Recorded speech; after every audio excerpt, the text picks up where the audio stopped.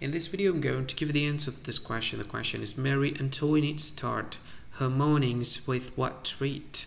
Well, I'll give you the answer for this question, and the answer for the question is hot chocolate. Well, is the answer for the question hot chocolate? Hi, thank you so much for watching this video. If you find this video is very useful, you can help this channel to grow by subscribing this channel. Please this subscribe button and don't forget to like this video. And if you find this video is not really good or you don't really like this video or you kind of feel that it's a little bit offensive or something like that, you can click this one, dislike button. You can do that anyway.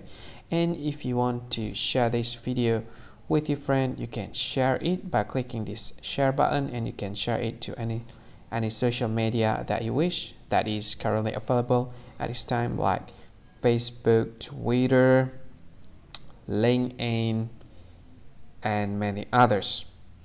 Right?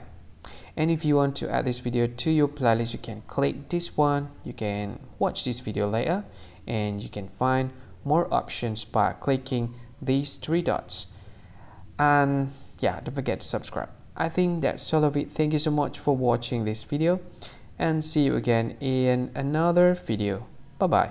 See you again.